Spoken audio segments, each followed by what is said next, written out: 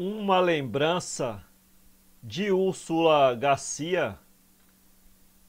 Eu quis levá-la ao cemitério um dia, mas em casa disseram: tão criança, é tão longe, é tão triste. Eu insistia, não sabe o que é tristeza ela e nem cansa.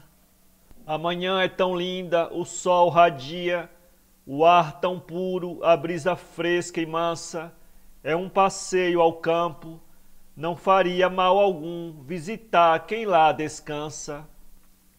E eu pensava, é melhor ir caminhando com seus pezinhos, rindo, conversando, voltar da cor das rosas que levou. Não foi comigo, mas lá foi levada numa manhã de sol, muda, gelada, lívida, inerte, e nunca mais voltou. www.poeteiro.com